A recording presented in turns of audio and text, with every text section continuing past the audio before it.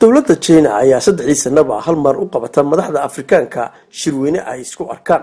Dulucda shirkan ayaana ah in jina uu suuq u raadiyo qalabka ama agabka lagu sameeyo dalkaasi oo nooc walba leh.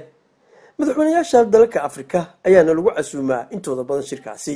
Shirkan waxaa marka hore la dhegeystaa khudbadda hogaamiyaha china shibin oo isagu kelmadda soo dhoweynta madaxda afrikaanka ah halkaasi uga jeediya intaasi kadibna waxaa loo soo bandhigaa fursadaha ganacsi ee jina yaalla oo waddamada afrikaanka ah si weyn looga baahan yahay sida tiknolojiyadda casriga ah ee digitalka ah baabuurta casriga ah ee xilligan iyaguna korontada ku shaqaysa oo caalamka u guurayo iyo weliba maalgashi aan wax shuruud ah aani ku xidhnayn. Wadamada reer galbeedka ayaa sidaynu ognahay maalgashiga ama hay'adahooda maalgashiga bixiya waxay ku xidhaan shuruudo. Haddaba china maalgashigiisa waxa ugu weyneed ee madaxda afrikaanka ay ku jecel yihiin waxa weeye in aan dhinaca xuquuqda ibni aadanka lagala xisaabtamin. Chinana aanay farigelin arrimaha gudaha ee wadamadaasi. Xaaladda dhaqaale ee waddamada afrikaanka ah oo iyagu xilligan aada intooda badan u liitaan ayaa haddana dalka china waxa uu siiyaa deyn aan shuruud ku xidhnayn taasi oo ku noqota culays aada u sii ballaadhan oo ka daran kii hore ee haystay. Shirkan ayaa madaxda afrikaanka ah mid walba waxa uu guntiga ku sitaa mashaariic uu doonayo in loo maalgeliyo. Iyo weliba waxyaabaha kale ee dalkiisu qaniga ku yahay sida beeraha iyo weliba macdanaha kala duwan ee waddamada afrikaanka ah dhulkooda ku jira.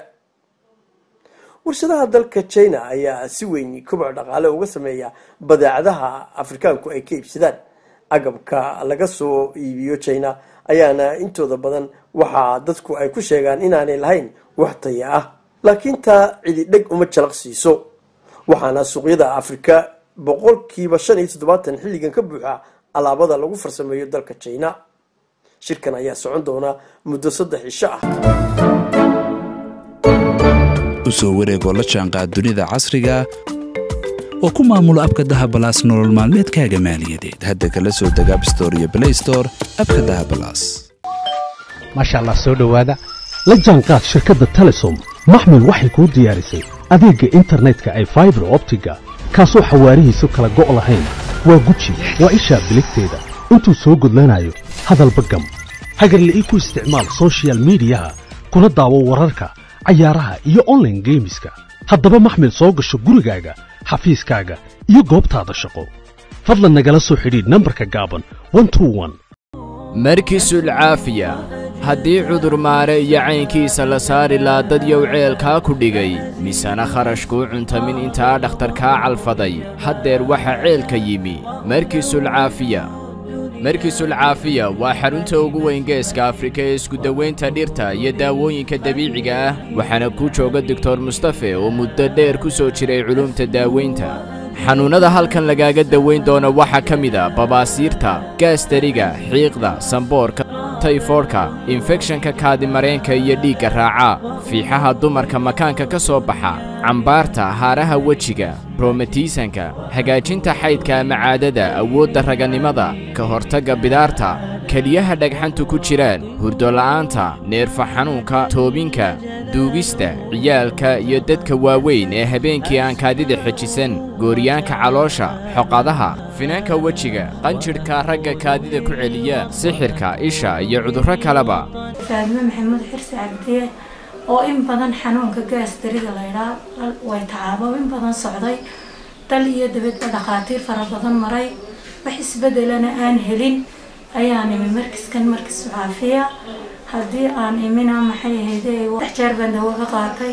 Ilaahay caafimaad buu iga siiya isagoo sigaa cudurka iyo caafimaadkaba bixiya waxaanu dadweynaha aan u kordhinay qayb qur'aansaar ah.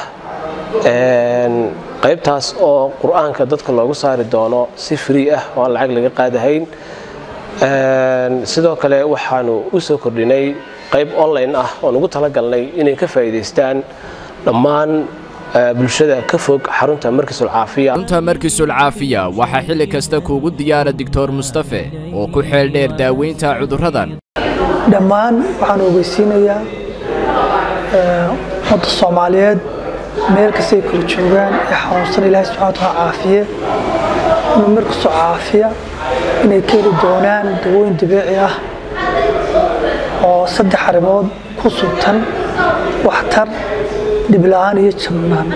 xarunta markiisul caafiya waxay ku taallaa bartamaha magaalada hargeysa gaar ahaan masjid jaamaca weyn qabladiisa. Ama ka soo horjeedka dhakhtarka cagaweyne ama buubaal. Wixii faahfaahin ee dheeraada waxaad kala xidhiidhi kartaa telefoonnada shaashadda idinka muuqda. Ballanteen waa markisul caafiya